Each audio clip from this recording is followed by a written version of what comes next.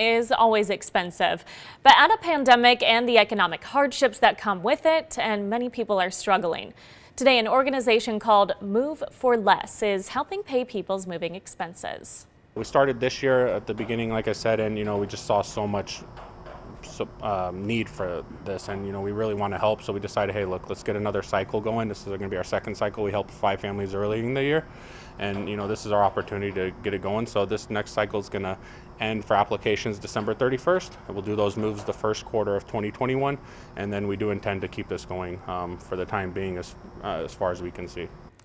If you would like to apply for assistance, the organization is taking applications until December 31st. You can do it all online and should explain how you have been affected by the pandemic and why you need to move.